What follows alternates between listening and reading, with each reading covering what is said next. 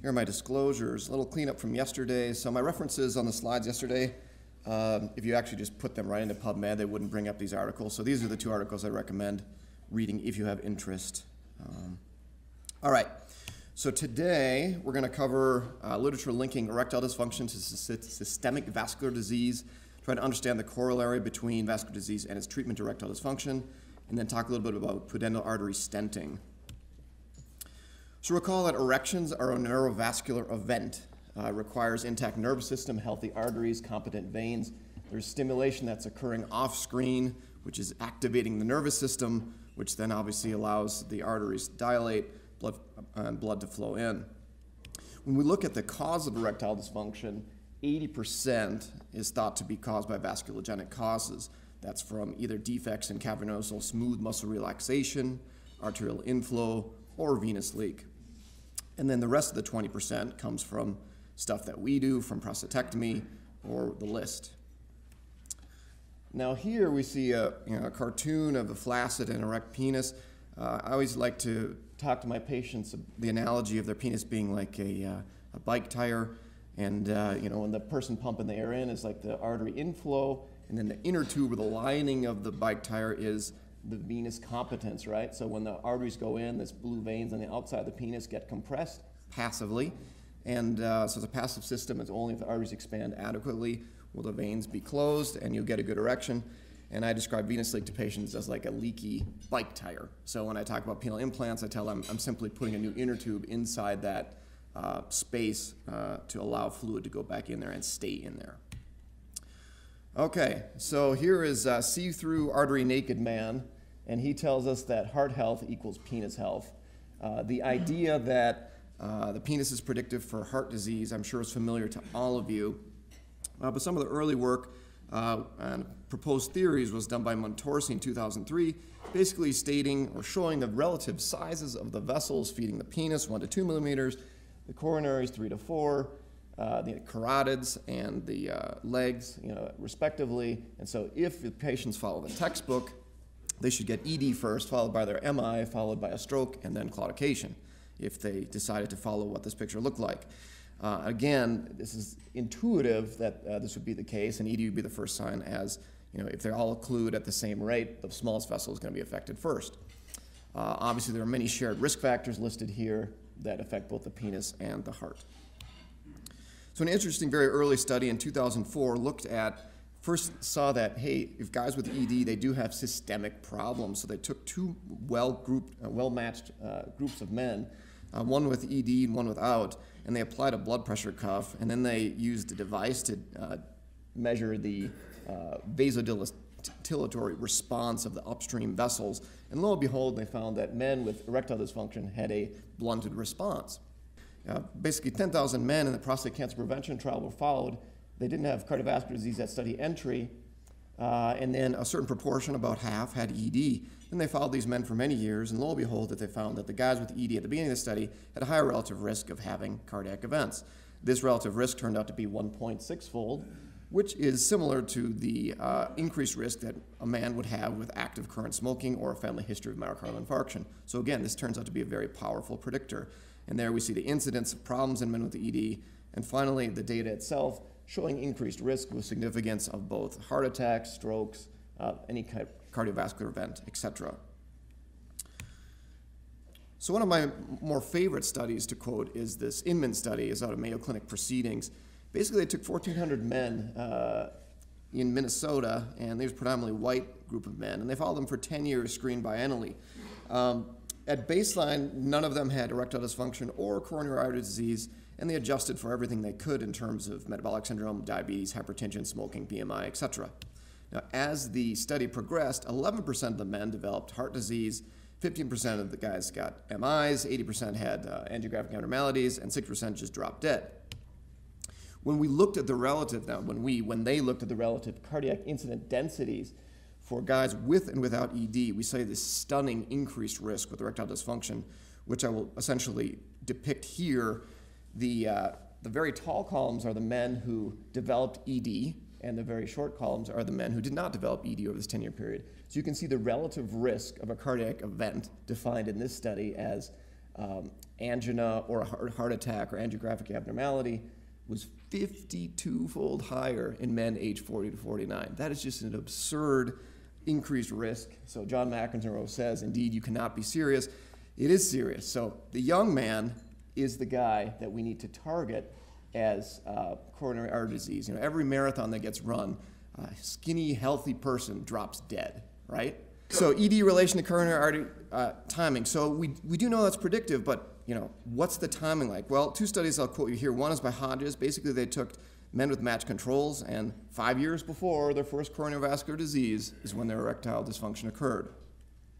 Montorsi, uh, a different uh, approach, but found a similar finding about 39 months before is when the first uh, heart attack occurred. So it's interesting when you get guys with heart attacks, ask them about their erect erections, and most of the time, not always, but most of the time they'll say, yeah, you know, this happened a few years ago, I started noticing problems.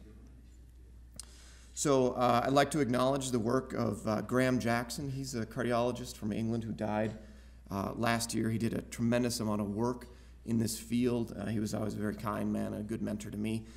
Uh, the other thing, the implications for this is uh, basically we need to shift how we treat younger patients. So a young patient with ED less than age 60, it changes the cardiologist's paradigm of what they're supposed to do based on some of this work. I'll show you that in a second.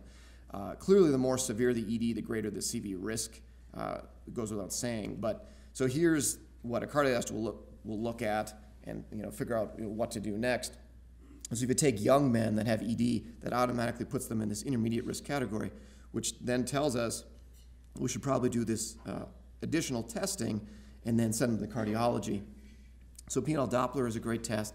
If that uh, shows arterial insufficiency, I send them to the cardiologist, and they get the book thrown at them. You have to be uh, very careful because some cardiologists will just do a stress test, right?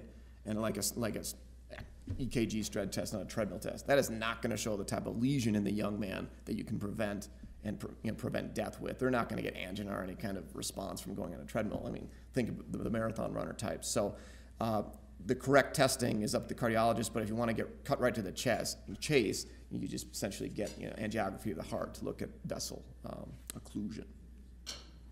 So what does ED equal? Well, it's a canary. That's the canaries in my talk, the canary in the coal mine. ED equals erectile dysfunction, endothelial dysfunction, early detection, exercise and diet, and early death. So I contend that we should use the penis as a fulcrum to get guys to do what we want them to do. If we tell them that you know they have a 8% less risk of a heart attack uh, if they exercise, that's one thing. But if we tell them their penis is going to work better, uh, that's another. So I think we should take advantage of that motivational factor. So knowing what we know that erections cause problems with uh, the heart, uh, you're now on the jury of a, a, panel, right? And a guy, 55 year old guy that got a prescription for Viagra, uh, drops dead.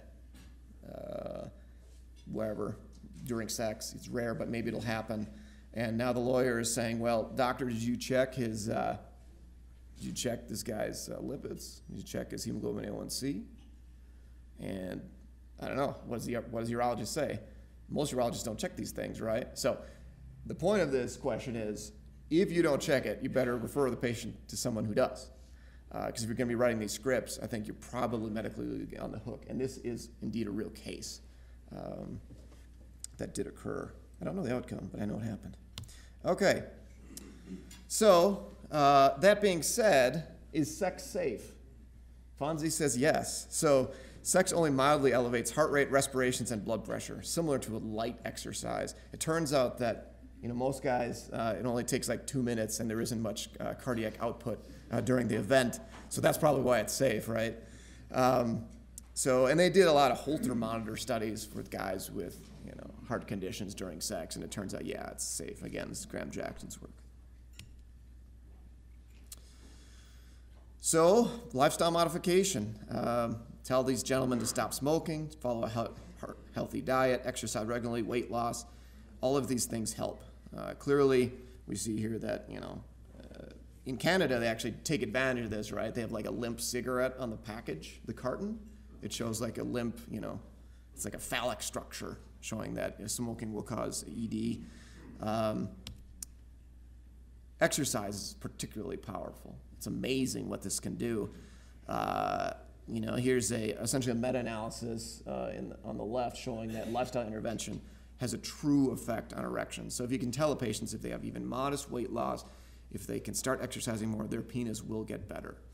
Uh, and you know, it's not necessarily about it working by itself, but maybe you can get them to a place where now the pills will actually work for them. Remember that to exercise upregulates uh, nitric oxide. It's good to have a lot of nitric oxide around for PD5 inhibitors to work essentially. So um, yeah, exercise is good. Keep doing that. But getting to the practical uh, side, you see this cartoon here, Doc, give it to me straight. How long do I have to ignore your advice, right? So we can tell them all these things till we're blue in the face, but ultimately they're going to want the pills or kind of intervention or treatment that uh, will fix the problem. Which brings us to our next uh, animal of the day, the giraffe. So does anybody know what the giraffe's claim to fame is?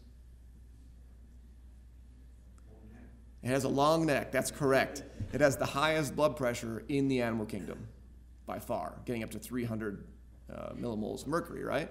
They gotta like they gotta like turn their head, they gotta eat the, the leaves without getting dizzy and you know falling down and having uh, orthostatics. So it turns out that the giraffe has amazing you know mechanisms to produce this very high heart rate or heart, high blood pressure. The heart is normal sized, but the thickness of the myocardium is like double or triple that of most animals. And so then it keeps the radius small within the chambers of the heart and increases the power. So now you can really jack up uh, the blood pressure. The other thing that the giraffe has, and the reason I'm telling you about the giraffe, is it has these remarkable, essentially carotid arteries.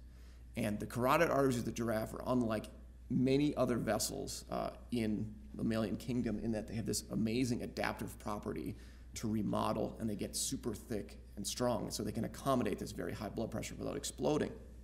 Turns out there's one blood vessel in the human which is, has very similar properties, and that vessel is the pudendal artery. So think about it. What other blood vessel in humans has relatively low flow at this point, right time in the audience? I'd, I'd speculate that 85 to 90 percent of the flow of the pudendal artery is somewhere around five millimeters, uh, you know, five centimeters per second. Now, about 10% of the population has about maybe, depending on, you know, never mind, eight, you know, 80 millimeters of uh, centimeters per second velocity flowing through the pudendal artery. So that's a very unique thing. So uh, investigator Mike Adams, uh, he's done a lot of work in this area. And so he started uh, testing uh, uh, rats. And so this is, these are pudendal artery rats right here. and you can see that they have this, when they, they did pathology on these rats with like hypertension in these different models, they saw this weird remodeling in the pudendals that they don't see in any other vessels. And so, lo and behold, the pudendal artery has these unique properties to accommodate the fact that flow changes and it gets very, very high relative to what things normally are, similar to the giraffe. So, further testing showed that when you look at the vascular tree of the penis, the pudendal artery is the gatekeeper. So, if you can get the gatekeeper wide open and flowing well, the penis is going to fill with blood effectively. However, if the pudendal artery has narrowing in it, i.e., from coronary vascular disease, coronary artery disease, it ain't going to work too well. So then the next idea is hey, why don't we treat the penis like we do vessels in the heart? Stick a stent in there, open it up, help with the flow. So the Zen trial was born. So this was a Medtronic based study uh, of which I was uh, fortunate enough to participate in, where basically they wanted to put a stent in the pudendal arteries and see what happened. Would it improve erections? And it was a zotarolimus eluting peripheral stent. Uh, these patients were put on um, blood thinners. It was a tremendous screening protocol to have to try to find them. We'll get to uh, in a second. But let's look at an example. So this is a patient of mine who got a penile Doppler. I did like 300 Dopplers to find 10 to 20 potential candidates for this study. It was just crazy to, hard to find them. So they had to have arterial insufficiency and no signs of venous leak whatsoever, right? Because if you're going to increase the blood flow of the penis, if you can't keep the blood trapped in there, it ain't going to do any good right? So they couldn't have venous leak and they had to have definitive arterial insufficiency, and then they only had to be to the point where they just started failing PD5 inhibitors, right? So they kind of like mild ED. So we found him. So here's a guy, and uh, we're looking at the view of his left uh, artery there, and you can see this area of narrowing right here. So again, we see now you start to see a wire coming down in there and boom, they pop a stent in, which is kind of hard to see, but it's kind of has like a mesh-like pattern. You can see that this whole area is now wide open, right? And then if you look at repeat angiograms, all of a sudden you see the blood vessels of the penis lighten up like a Christmas tree. So there it is. Now, beautiful pictures. This is a success story, right? You would not believe how we struggled to A, find these patients, B, figuring out what vessel to stent. You know, like we had to give the guys erections to see if we could drop blood in to see if we were doing the right thing. We gave approximately four to five men excellent quality bowel movements because we stented their rectal artery instead of the pudendal arteries, right? so it was difficult. Um, what do we find? So it had this unique screening protocol, which I talked about. We had to do all these Dopplers to find them.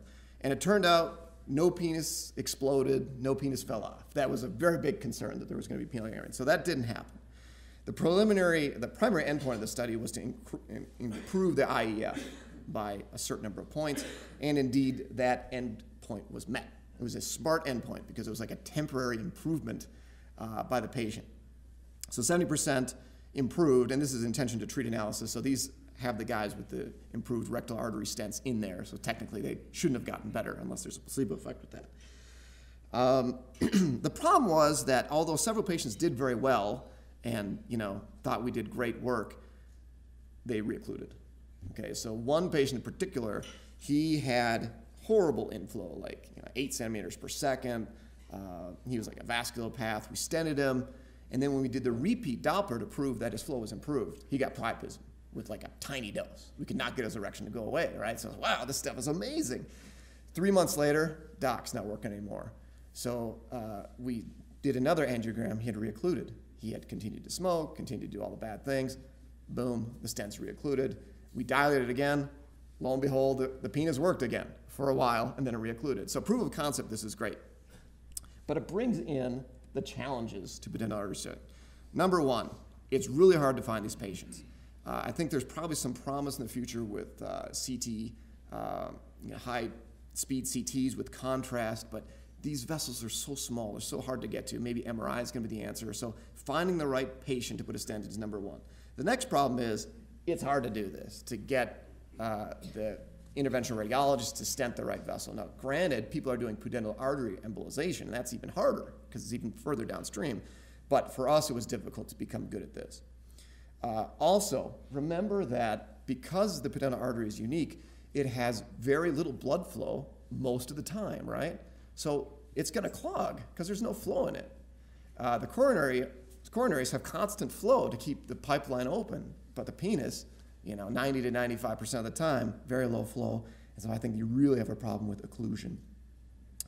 And then the final thing is that, you know, even when we get heart stents, this doesn't extend our life right? Getting a stent, that doesn't extend our life. It simply allows us to do the things that we need to do that will extend our life. It lets us exercise without pain, right? That's all what stents do. If you do nothing with stents, you have no increased life expectancy.